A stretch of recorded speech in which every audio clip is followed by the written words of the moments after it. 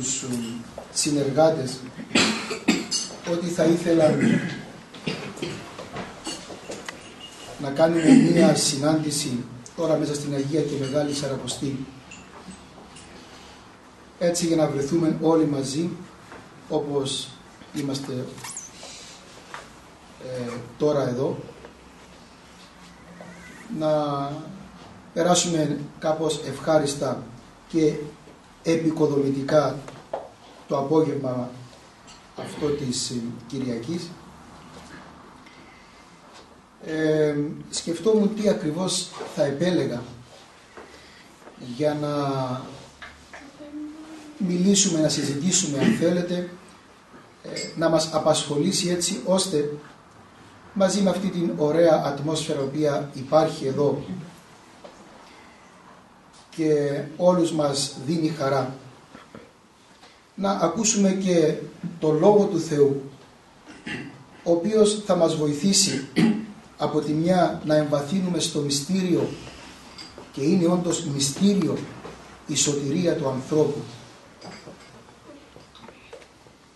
Και από την άλλη να δούμε πως ο άνθρωπος μπορεί αυτό το μυστήριο της σωτηρίας του της ένωσής του με τον Θεό να το πραγματοποιήσει μέσα από τη ζωή της Εκκλησίας. Και ξέρετε κάτι πολλές φορές όταν ε, ακούμε ένα έτσι κάπως θεολογικό θα έλεγα ακόμα βαθύτερο λόγο που αναφέρεται στη ζωή της Εκκλησίας λίγο έτσι κουμπονόμαστε με την έννοια ότι μα είναι για μας η θεολογία. Έτσι είμαστε εμείς θεολόγοι. Εμείς θέλουμε να ακούσουμε κάποια απλά πράγματα τα οποία να τα καταλαβαίνουμε. Και όμως η θεολογία είναι η ζωή ε, της Εκκλησίας. Είναι η ζωή του Χριστού. Είναι η ζωή των Αγίων. Είναι η ζωή εκείνη η οποία ε, καλούμαστε να ζήσουμε και να βιώσουμε για να μπορούμε να τα κατανοούμε και να τα γνωρίζουμε ε, τα μυστήρια τα οποία ζούμε μέσα στην Εκκλησία. Η θεολογία είναι η αποκάλυψη του Θεού στον άνθρωπο που έγινε δια του Ιησού Χριστού και αποκαλύφθηκε σε μας διαμέσων των προφητών των Αποστόλων και των Αγίων. Αν θέλαμε έτσι με απλά λόγια να πούμε τι είναι η θεολογία, θα λέγαμε ότι είναι το να σκέφτεται κανείς με τη λογική του Θεού και όχι με τη λογική τη δική του. Και ξέρετε, αυτό που σας είπα τώρα απετέλεσε γύρω στο 14ο αιώνα μία μεγάλη συζήτηση ε, μεταξύ των Ορθοδόξων και των Παπικών. Οι εκπρόσωποι του Ρωμαιοκαθολικισμού, του Παπισμού, έλεγαν ότι ο άνθρωπος μπορεί να κατανοήσει την πίστη, το Ευαγγέλιο, ακόμα και τον Χριστό, με τη λογική του. Γι' αυτό αυτός ο οποίος σπουδάζει αυτός ο οποίος γνωρίζει την αρχαία φιλοσοφία του Πλάτωνα, του Αριστοτέλη, αυτός ο οποίος κατέχει πανεπιστημιακά πτυχία και έχει καλλιεργήσει και αναπτύξει τη λογική του και τη σκέψη του, μπορεί να καταλάβει και τα πνευματικά και τα αισθητά. Δηλαδή με άλλα λόγια έλεγαν ότι οι αρχαίοι φιλόσοφοι και οι μορφωμένοι είναι ανώτεροι και από τους Αποστόλους και από τους προφήτες και από τους Αγίους. Και ένας ο οποίος δεν έχει αυτή τη μόρφωση, δεν μπορεί δηλαδή με τη λογική του να καταλάβει τα θέματα της πίστεως, ε, αυτός δεν μπορεί να γνωρίσει τον Θεό και να σωθεί.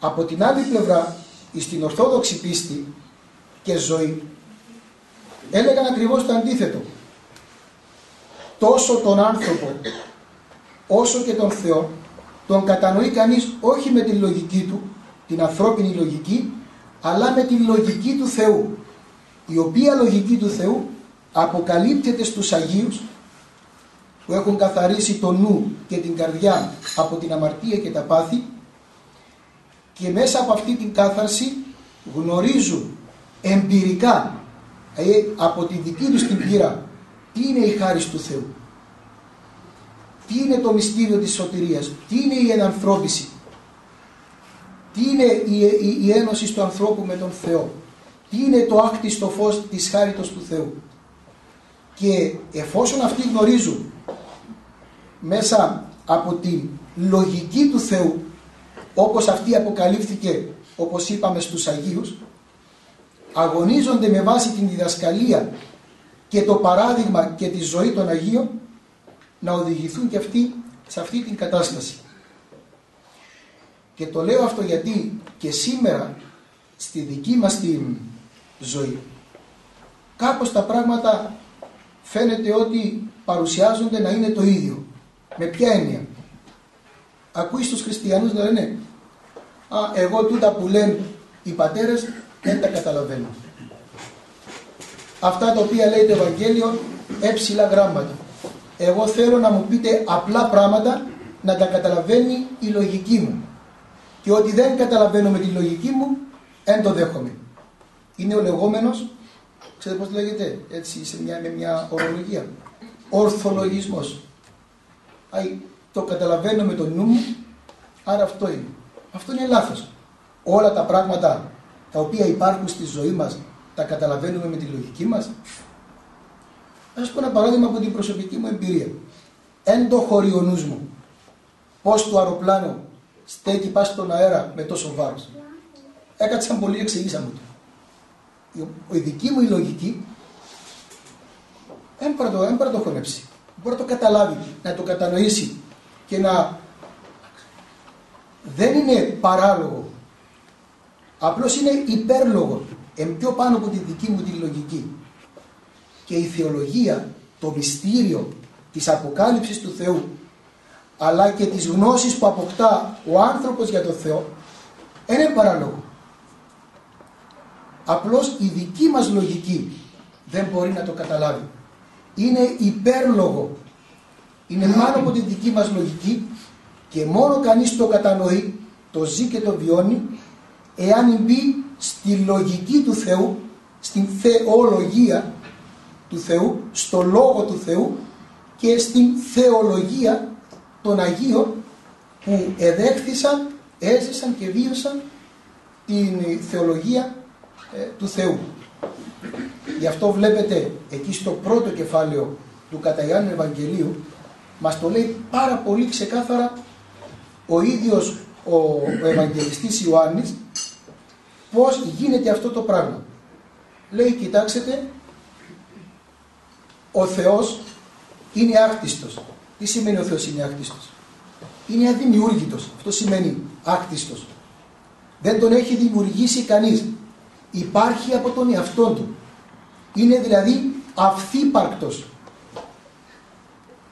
Ενώ όλα τα άλλα είναι χτιστά, δηλαδή δημιουργημένα και αυτά τα δημιούργησε ο Θεός. Και προχωρά παρακάτω και λέει ο Άγιος Ιωάννης ο Ευαγγελιστής δεν υπάρχει καμία σχέση μεταξύ του άκτιστου αδημιούργητου Θεού και του χτιστού δημιουργημένου ανθρώπου και κόσμου.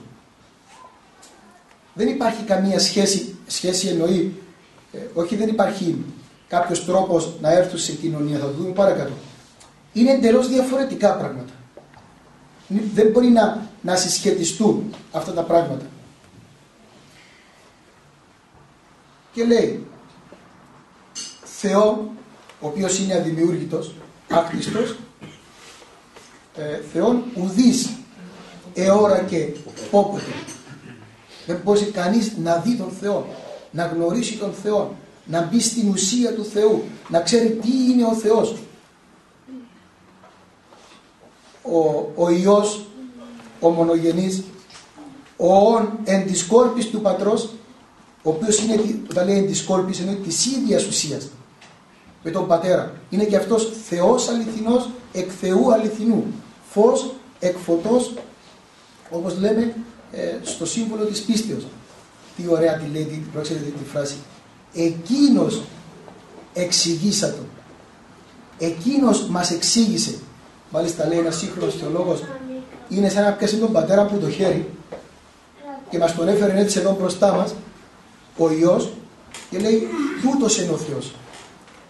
Πώς μας τον εξήγησε; Ο λόγος σάρξ εγένετο, ο Υιός δηλαδή έγινε άνθρωπος και εσκήνωσε εν ημί, αποκαλύφθηκε ένα μεσά μας και θεασάμεθα, είδαμε δηλαδή, όχι την ουσία του που είναι απρόσιτη, τη φύση του που δεν μπορούμε να τη γνωρίσουμε, αλλά τι είδαμε. Την δόξα αυτού ως μονογενούς παραπατρός. Είδαμε τη δόξα του, την χάρη του, το φως του, την ενέργεια του. Άρα λοιπόν κανείς γνωρίζει τον Θεό, έρχεται σε κοινωνία με τον Θεό, πώς; Δια του Κυρίου ημών Ιησού Χριστού, ο οποίος έγινε άνθρωπος. Γι' αυτό και λέει ο, ο ίδιος ο Χριστός, ουδής έρχεται προς τον Πατέρα, ημί διεμού. Ο ερακόν εμέ εώρακε και τον πατέρα. Αυτό που λέμε τώρα, όσο πιο απλά γίνεται, είναι η θεολογία. Και αντιλαμβανόμαστε με την, την λογική του Θεού, την αποκάλυψη δηλαδή του Θεού, πώς κα, κανείς μπορεί να έρθει σε κοινωνία με τον Θεό και να γνωρίσει τον Θεό. Όχι με τον τρόπο τον δικό του, αλλά με τον τρόπο με τον οποίο αποκαλύφθηκε ο Θεός. Και έχει ένα άλλο πολύ ωραίο χωρίο στην πρώτη καθολική επιστολή του Αγίου Ιωάννου του Θεολόγου στο πρώτο κεφάλαιο που λέει το εξής εμείς οι Απόστολοι λέει οι Άγιοι εωράκαμε εθεασάμεθα εχείρε ημών εψηλάφισα αυτόν που είναι η όντως ζωή, η αληθινή ζωή. Και αυτός είναι λέει ο Χριστός. Προσέξτε, οι Απόστολοι είδαν το και μάλιστα χρησιμοποιεί δύο ρήματα εδώ, τα οποία ενώ φαίνονται ότι είναι ταυτόσιμα, στην ουσία δεν είναι. Εωράκαμε, είδαμε το, εθεασάμεθα, αλλά δεν σημαίνει το θεασάμεθα είδαμε.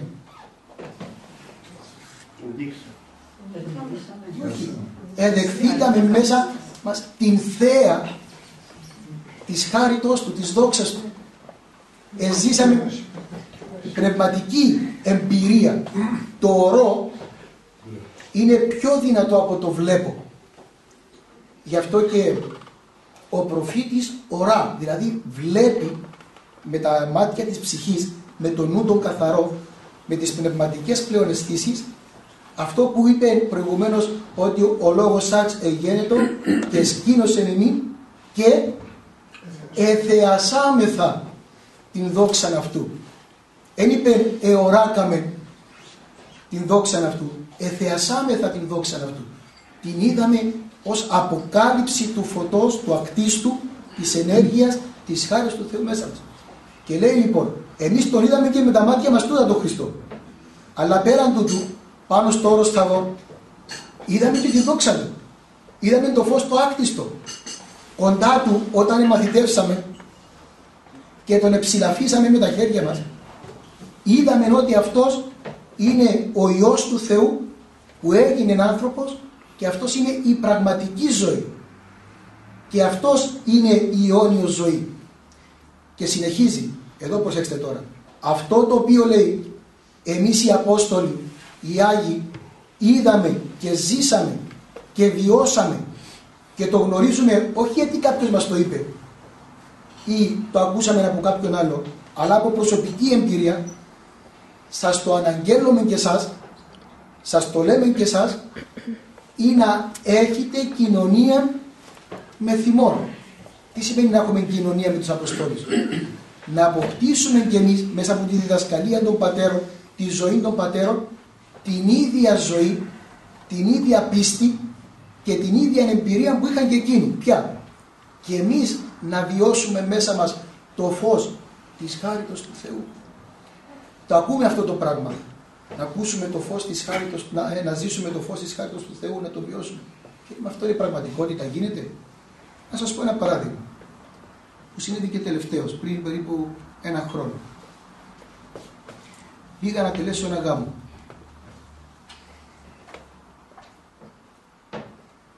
Αυτοί οι οποίοι θα επροσέρχονται στο μυστήριο του γάμου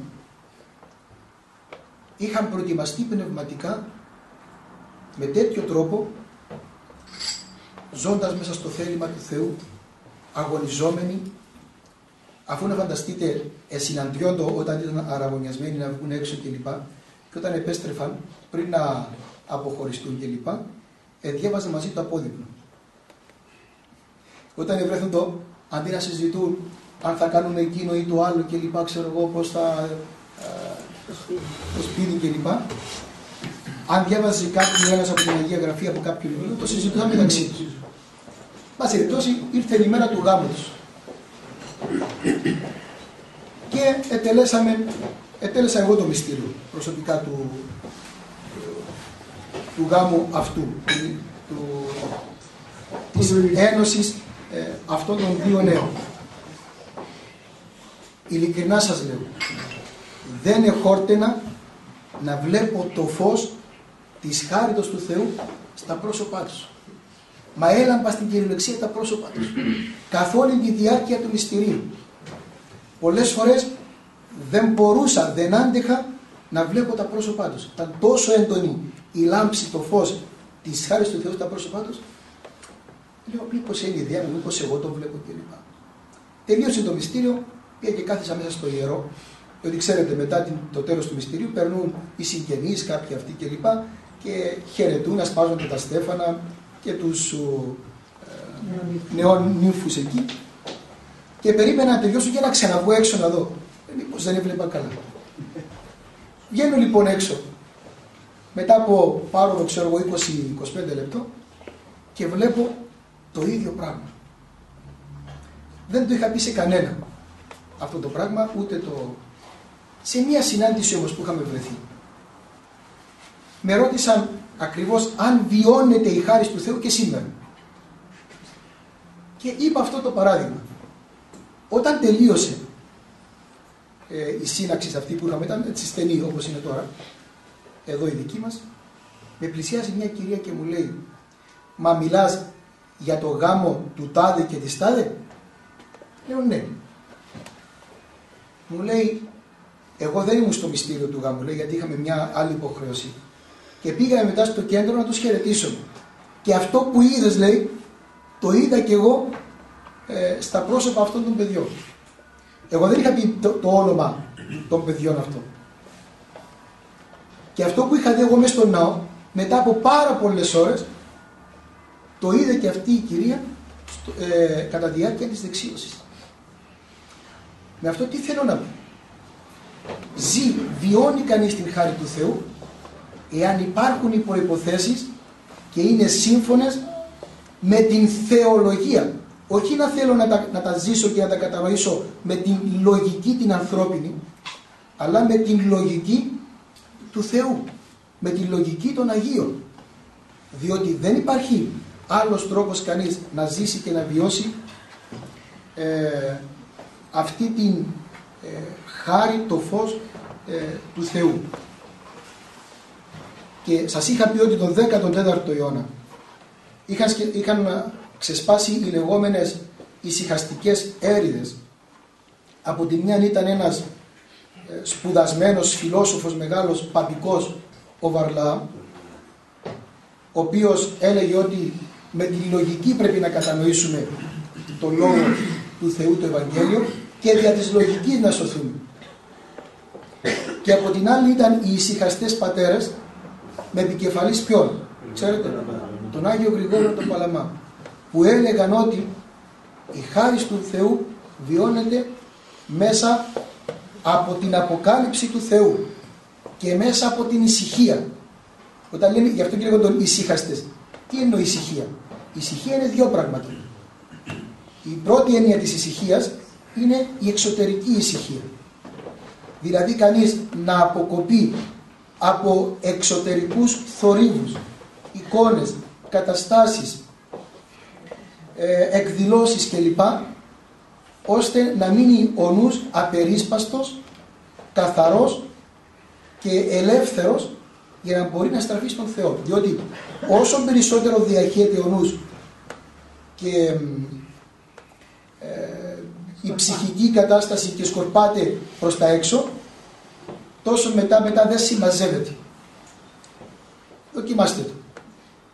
Πηγαίνετε, ξέρω εγώ, σε μια διασκέδαση, κάτσετε στην τηλεόραση, δείτε ένα έργο και μετά πηγαίνετε να προσευχηθείτε.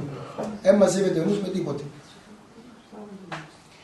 Η δεύτερη έννοια της ησυχίας είναι να μην μας ενοχλούν και να μην μας ταράσουν τα πάθη μας.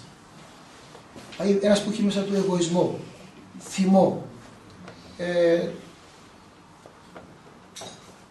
ξέρω εγώ, φθόνο, κακία, αντιπάθεια. Δεν έχει εσωτερική ησυχία. Είναι τεραγμένος, είναι συγχυσμένος, εσκοτισμένος ο νους του και δεν μπορεί να στραφεί στον Θεό. Άρα λέγανε οι πατέρες, οι ησυχαστές, δεν έχει σημασία τόσο αν κάποιος εμορφωμένος ή όχι, αλλά κατά πόσον έχει μαζέψει τον νου μέσα του, τον έχει καθαρίσει για να μπορεί να δεχτεί το φως της χάριτος του Θεού. Ε, γι' αυτό και λέει ο Άγιος Ιωάννης ο, ο Ευαγγελιστής στην πρώτη επιστολή που σας είπα την καθολική, στο πρώτο κεφάλαιο, εμείς είναι που γνωρίσαμε λέει και μας αποκαλύφθηκε και το ζήσαμε, είναι ένα πράγμα. Ποιο είναι αυτό; Ότι ο Θεός φως εστί. Είναι φως. Και αυτός ο οποίος περιπατεί μέσα στο σκοτάδι, μέσα στην άγνοια, μέσα στην αμαρτία, δεν μπορεί να έχει το φως. Αυτός όμως ο οποίος στρέφει τον νου και την καρδιά εις τον Θεό, δέχεται το φως αυτό μέσα, στη ψυχή, στην καρδιά, στον νου, φωτίζεται και ποιο είναι το αποτέλεσμα; Θυμάται κανείς, λέει μία πολύ ωραία ε, φράση εκεί ο Άγιος Ιωάννης ο, ο Ευαγγελιστής.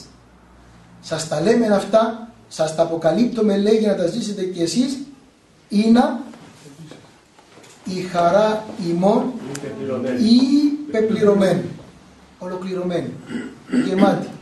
Να μην λείπει τίποτα από μέσα. Άρα λοιπόν, ένα είναι η μόρφωση.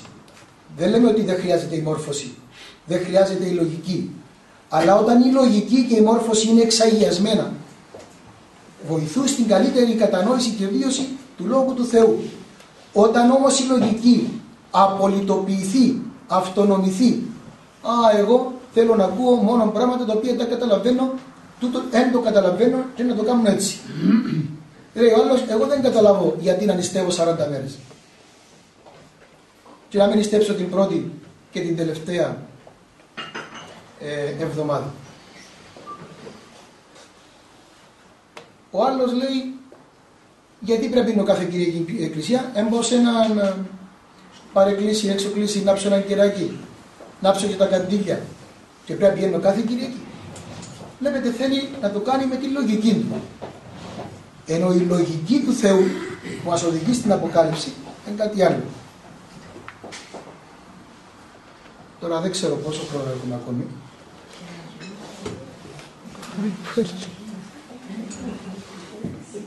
Πόση ώρα μιλώ το μεταξύ, 24 λεπτά.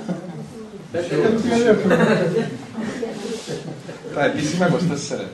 Τα επίσημα 24. 24, ό,τι λέει το επίσημο. λοιπόν, τότε που υπήρχαν, ακόμα λίγο και θα, θα τελειώσω, δεν θα σας πω πάρα πολλά πράγματα. τότε που υπήρχε αυτό το πρόβλημα και ήταν πολύ σοβαρό γιατί αν δεν το εξεδιαλύναμε οι πατέρες δηλαδή αν δεν το ξεκαθάριζαν όλοι θα σκεφτόμασταν όπως, ήταν, όπως σκέφτονται οι παπικοί μέχρι σήμερα. Και δεν θα μπορούσαμε να γνωρίσουμε πραγματικά το Λόγο του Θεού. Γι' αυτό τότε ο Άγιος ε, Γρηγόριος ο Παλαμάς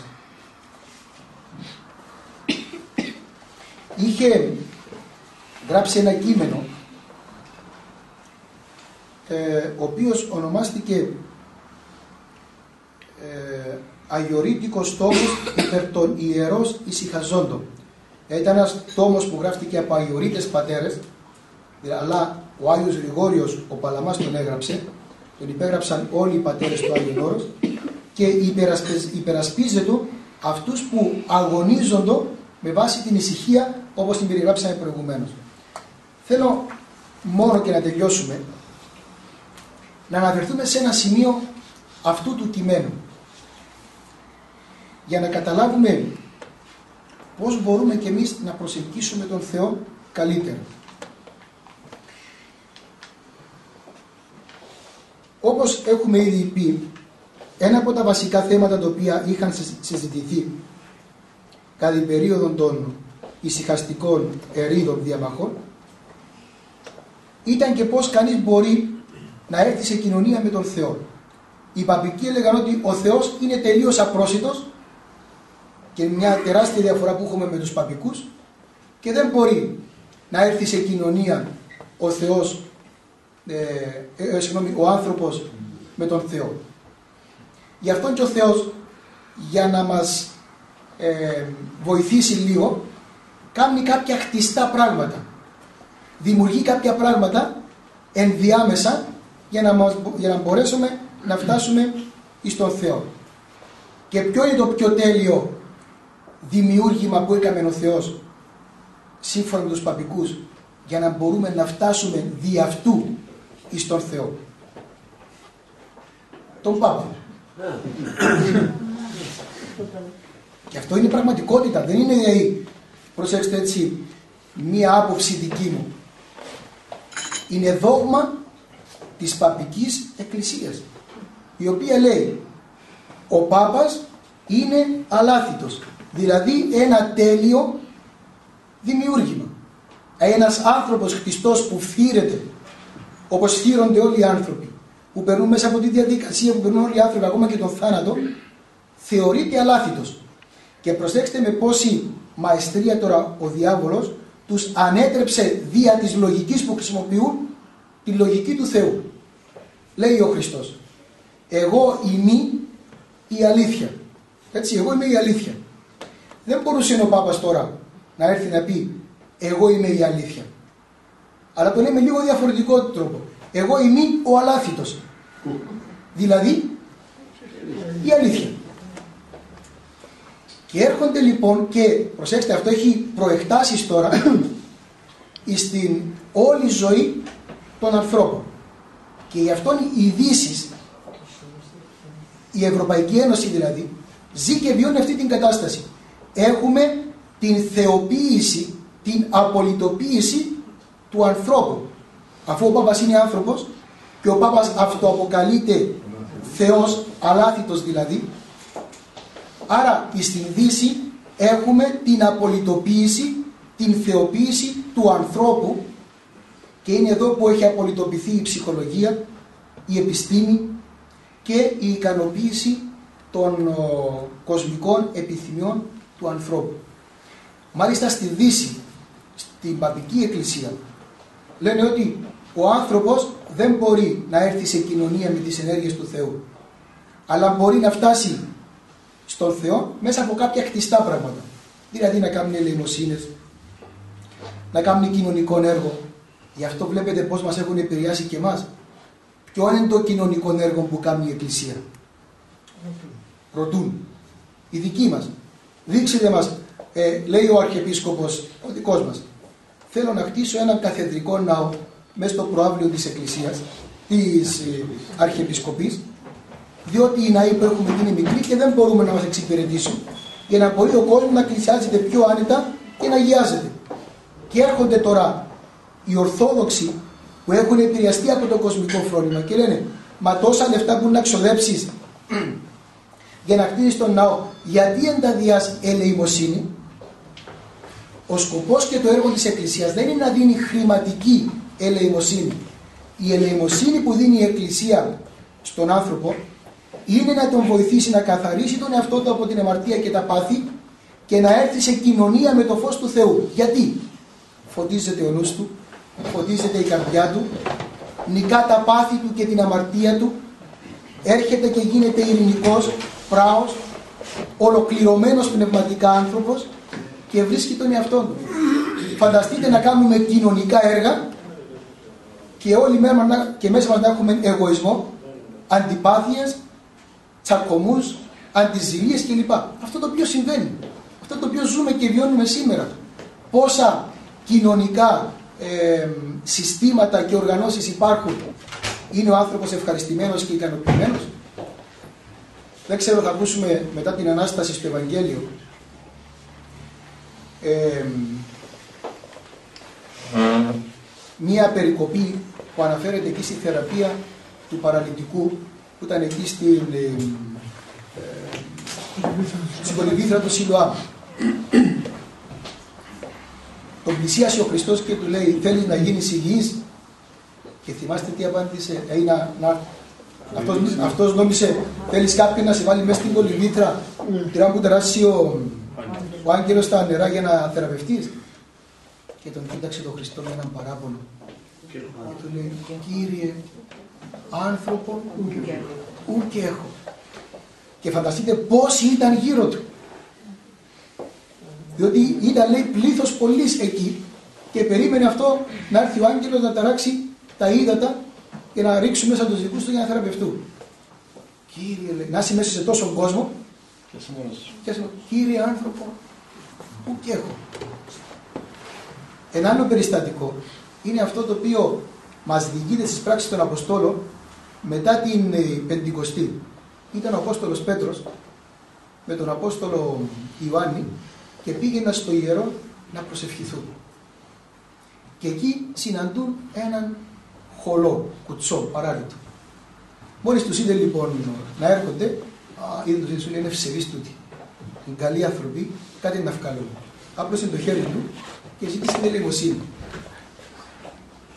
Του λέει ο Απόστολος Πέτρος, φίλε μου, αργύριο και χρυσίο, που υπάρχει; Δεν έχω να σου δώσω τίποτα από αυτό το οποίο ζητάς. Ο έχω, τούτος συνδίδομαι. Αυτό το οποίο έχω, αυτό θα σου το δώσω. Εν ονόματι του Κυρίου ημών Ιησού Χριστού έγειρε και περιπάτη. Του έδωσε τον Χριστό. Αυτόν είχε. Και του τον έδωσε. Άρα λοιπόν, έναν τα χρήματα, έναν τα, τα καλά έργα που είναι να σώσουν, να βοηθήσουν τον άνθρωπο. Φανταστείτε να το έδινε χρυσίον ή αργύριο, έστω και πολλά. Τη άλλη ημέρα, αφού ήταν κουτσός και ταλαιπωρημένος, θα ήταν εκεί με το χέρι απλωμένο. Δίνει τον Χριστό και θεραπεύεται και σωματικά και πνευματικά και γίνεται ολοκληρωμένος άνθρωπος. Γι' αυτό λοιπόν, σε αντίθεση με τους παπικούς, εμείς λέμε ότι αυτό που πρέπει να δώσουμε σαν εκκλησία είναι την χάρη και την ενέργεια του Θεού που είναι άκτιστη, αδημιούργητη. Και αυτή μας βοηθά να ολοκληρωθούμε σαν άνθρωποι. Θέλω να σας πω δύο-τρία παραδείγματα και με αυτό να τελειώσω για να καταλάβουμε την διαφορά μεταξύ αυτού που λένε οι παπικοί και αυτό που λέει η Ορθόδοξη Εκκλησία. Λέγει ο Άγιος Γρηγόριος Παλαμάς και ο Άγιος Μάξιμος Ομολογητής. Άλλον είναι η ουσία του Θεού και άλλον είναι η ενέργεια του Θεού. Την ουσία του Θεού δεν τη δέχεται κανείς ούτε μπορεί να την προσεγγίσει. Μετέχουν σε αυτή την ουσία, στη φύση, μόνο ο Πατήρ, ο Υιός και το Άγιο Πνεύμα. Στις ενέργειες του Θεού, οι οποίες πηγάζουν μέσα από την ουσία Του και είναι και αυτές άκτιστες, αδημιούργητες, μπορούν να μετέχουν και οι άνθρωποι. Και λέει ποιες είναι αυτές οι ενέργειες; Η αγιότητα, η αγαθοσύνη, η αγαθότητα, η,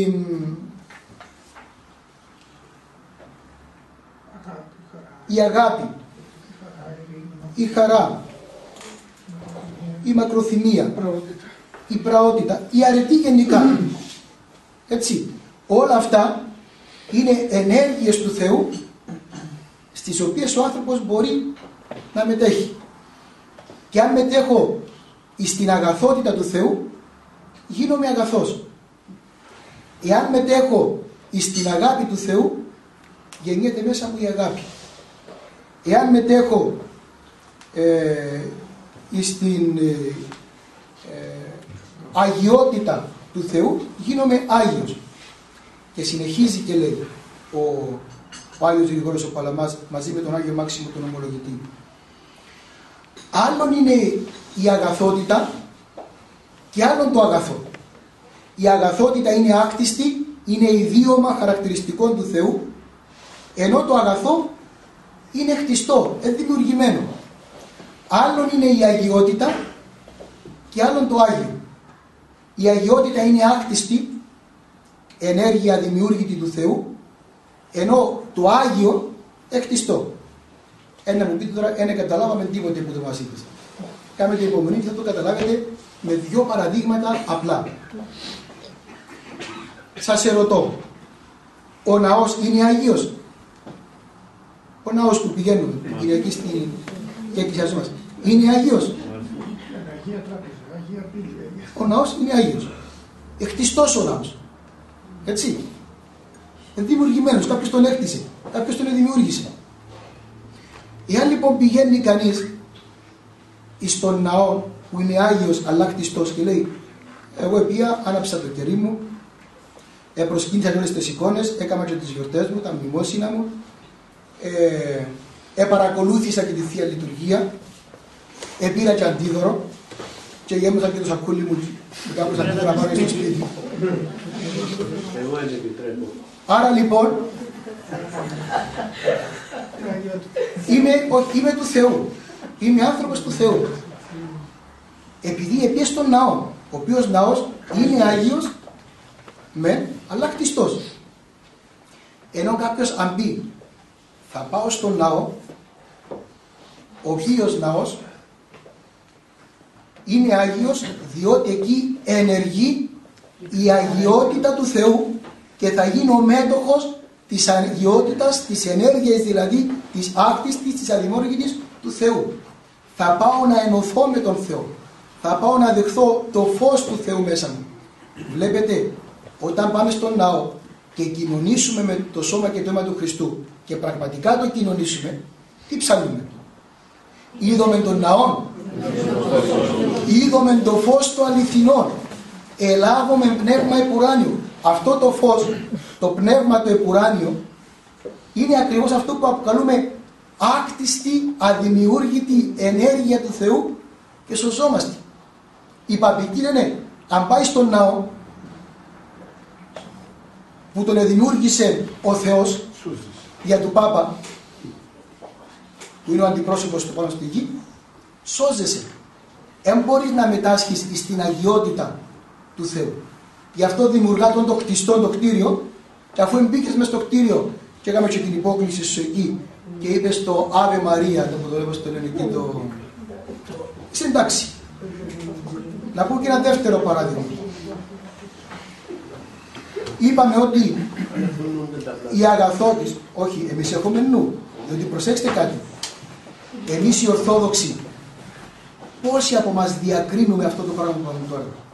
Και ξέρουμε ότι στον ναό δεν πάμε απλώς για να παρακολουθήσουμε τη Θεία Λειτουργία, να ράψουμε το κερί μας, να προσκυνήσουμε τις εικόνες, αλλά για να γίνουμε μέτοχοι της αγιότητας του Θεού. Διότι έχουμε επηρεαστεί, γι' αυτό το λέω, έχουμε επηρεαστεί από το δυτικό φρόνημα και πνεύμα. Είπαμε προηγουμένως ότι η αγαθότης είναι ε, άκτιστη, αδημιούργητη ενέργεια του Θεού. Το αγαθό εκτιστό. Ένα παράδειγμα. Πιάνω και κάνω μια ελεμοσύνη εδώ στον πατέρα Δημήτριο. Ένα αγαθό του το που κάνω, έτσι. Και πιστεύω ότι επειδή του έδωσα τόσα ή τόσα ή τόσα, ή ήταν άρρωστος και πήγα και τον είδα, ήταν στη φυλακή και τον επισκέφθηκα, ε, είχε κάποια ανάγκη και τον βοήθησα κλπ. είμαι άνθρωπος του Θεού. Διότι χρησιμοποίησα αυτό το χτιστό, το ανθρώπινο δηλαδή, το γήινο, και επειδή το έκαμα, ετέλειωσε. Ενώ στη δική μας την πιστή είναι, κάνοντας το τούτο, μετέχω στην αγιότητα, στη, συγγνώμη, στην αγαθότητα του Θεού. Και από πού φαίνεται στον άνθρωπο του Θεού ότι μετέχει στην αγαθότητα του Θεού. Ξέρει και πότε θα δώσει και πώς θα δώσει και με ποια εσωτερική κατάσταση το δίδει και λοιπά. Ούτε περνά από τον λογισμό του ίχνος υπερηφανίας «Α, έδωσα τούτο το πράγμα για ελεημοσύνη. Α, έκανα τούτο το καλό έργο». Γιατί; Και αν όλα τα διατεταγμένα τα ποιήσουμε, αχρίδουν. Δεν είναι τα έργα που μας σώζουν, αλλά είναι η χάρη, η ενέργεια του Θεού. Και κάνοντας αυτά τα έργα, κινούμε προς τον Θεό, ανοίγουμε προς τον Θεό, στρέφουμε προς τον Θεό για να δεχθώ μέσα μου την αγαθότητα του Θεού. Γι' αυτό ο αγαθός που μετέχει στην ενέργεια του Θεού δεν ταράσσεται ούτε όταν δώσει, και τι σημαίνει δεν ταράσσεται όταν δώσει, δεν λέει μέσα του. Α, τώρα έδωσα τα, τα πράγματα, βλέπεις, ε, έκανα το έργο των καλών, τώρα είμαι άνθρωπος του Θεού. Κάνει λογισμούς υπερηφανίας. Ή αν δεν δώσει γιατί έκρινε ότι δεν θα δώσει, του περνά ο λογισμός. Τα ευλογημένα μήπως έπρεπε να του δώσω; Μήπως, γιατί ενεργεί το φως του Χριστού μέσα του το φως της χάρης του Αγίου Πνεύματος, εφωτισμένος ο νους του καθαρός και ξέρει και γιατί έδωσε και γιατί δεν έδωσε. Να σας πω και ένα τελευταίο παράδειγμα με την αγάπη. Όταν είναι ενέργεια του Θεού η αγάπη μέσα στον άνθρωπο, τότε αυτή η αγάπη είναι αδιάκριτη δεν είναι ανθρώπινο. Δεν αγαπούμε τον άλλο γιατί μας αγαπά. Δεν ενδιαφερόμαστε στον άλλο γιατί ενδιαφέρεται για μας. Δεν θυσιάζομαι για τον άλλο επειδή θυσιάζεται για μένα. Αλλά αγαπώ σαν κάτι το φυσικό γιατί ενεργεί μέσα μου η αγάπη του Θεού. Εμείς για παράδειγμα, αν ακούσουμε αύριο ότι έγινε στην Τουρκία ένας τεράστιος σεισμός και σκοτωθήκα στην κάμποση, θα πούμε ε, καλά να πάθω. Ελία που κάμα στον κόσμο τούτο. Ήβραντα από το Θεό. Ας δεν μείνει ένας. Αυτή είναι αγάπη ανθρώπινη, παπική. Διότι αν είχαμε τον Απόστολο Παύλο εδώ ή τον Άγιο Ιωάννη τον Ευαγγελιστή ή έναν Άγιον άνθρωπο, πώς θα σκεφτόταν; Θεέ μου πράγματι αυτοί οι άνθρωποι ζώντας μέσα στην άγνοια έκαναν αυτά τα οποία έκαναν. Τι θα κάνουμε εμείς τώρα για να τους βοηθήσουμε να φύγουν από την άγνοια και να γυρίσουν πίσω; Έτσι σκέφτονταν οι Απόστολοι τότε με τους ιδωρολάτρες, επήγαιναν να τους βοηθήσουν έστω και αν εγκινδύνευε η ζωή τους να, ε, να καταστραφεί ή να, να τους σκοτώσουν και να τους ε, μαρτυρήσουν για το όνομα του Χριστού. Το ίδιο συμβαίνει και στη δική μας τη ζωή. Αν πραγματικά αγαπά κάποιος κάνει. Έλε, συνήθως λέμε, «Ε, μ' αγαπά». Και τι εννοούμε δεν μ' αγαπά. Ε, μου κάνει τα χαρτίρια μου. Πόσες φορές του είπα να μου το κάνει τούτο και μου το κάνει. Πόσες φορές είπα ε, στον τάδε να κάνει αυτό και δεν το κάνει. Άρα έμμα αγαπά. Αυτή είναι αγάπη ανθρώπινη, συμφεροντολογική και όχι αγάπη του Θεού. Φανταστείτε να σκέφτεται ο Θεός που είναι αγάπη έτσι για μας. Εμείς και εμάς. Όταν είσαστε λέει 100 που σαν έναν τρικυμένα. Ε, η αγάπη σου θα είναι ανθρώπινη και όχι ενέργεια της χάριτος του Θεού. Άρα λοιπόν, καλούμαστε εμείς μέσα από τα χτιστά να οδηγηθούμε στα άκτιστα, στη χάρη του Θεού, να έρθει αυτός ο φωτισμός μέσα μας για να ε, μας φωτίσει, να μας αγιάσει και να μας ενώσει με τον Θεό. Θα μου πείτε τώρα, ε καλά δεσπότη μου, τούτα που μας είπες, είναι τα σχέση έχουν με την Αγία και Μεγάλη Τεσσαρακοστή. Και όμως είναι αυτά που έχουν σχέση με την Αγία και Μεγάλη Τεσσαρακοστή. Βλέπετε από τις πρώτες Κυριακές της Μεγάλης Τεσσαρακοστής βάλει η Εκκλησία να γιορτάζουμε τον Άγιο Γρηγόριο τον Θεολόγο. Πες μου τον Παλαμά. Δεύτερη. Δεύτερη, από τις πρώτες Κυριακές, τη δεύτερη Κυριακή, για να μας οδηγήσει δια του Αγίου Γρηγορίου του Θεού του Παλαμά σε αυτήν τη διδασκαλία που έχουμε τώρα. Ότι ο σκοπός της Αγίας και Μεγάλης Τεσσαρακοστής είναι να μας αποκολλήσει που τα χτιστά, τα γήινα, τα ανθρώπινα, για να στρέψουμε το νου και την καρδιά μας τα α, α, πνευματικά για να ενεργήσει μέσα μας ο Θεός. Ώστε, αυτό που λέγαμε την άλλη φορά που συναντηθήκαμε εδώ, την Ανάσταση, την Κυριακή της Αναστάσεως, να μην είναι εξακοής το μήνυμα της Αναστάσεως. Χριστός Ανέστη εκ νεκρών και να ακούσουμε τις καμπάνες να χτυπούν. Αλλά να είναι τι; Είχαμε πει από μία, μια λέξη Εμπειρικό. αποθέας. Τι λέμε; Ανάσταση Χριστού θεασάμενη. Δεύτε αποθέας γυναίκες Ευαγγελίστριες. Δηλαδή οι μυροφόρες δεν είπαν τους το κανένα και πήγαν και κηρύξαν το. Ήταν αποθέας. Το είδαν. Έζησαν το φως της Αναστάσεως. Εβίωσαν την παρουσία του αναστημένου Χριστού στη ζωή τους και το έλεγα σαν ένα φυσικό, πραγματικό γεγονός. Εμείς πάμε, αν καλτούκου οι καμπάνες, ε, δεύτε λάβετε φως και νομίζουμε ότι είναι το φως που μας καλεί να πιάσουμε μπάστα κεριά. Χριστός Ανέστη, αναστεί ο Θεός και διασκορπιστεί το σαν αυτού από προσώπου αυτού. Ενώ αυτός ο οποίος λαμβάνει το φως από θέας, από την προσωπική του εμπειρία, παρακολουθεί τη Θεία Λειτουργία, αφού έχει προετοιμαστεί τη Μεγάλη Τεσσαρακοστή να ξεκολλήσει τον νου την καρδιά από τα υλικά και κοινωνεί. Και γίνεται μέτοχος δια του Χριστού, όχι δια της λογικής του. Δια του Χριστού, δια της θεολογίας, δια της λογικής του Θεού, μέτοχος του φωτός της Αναστάσεως.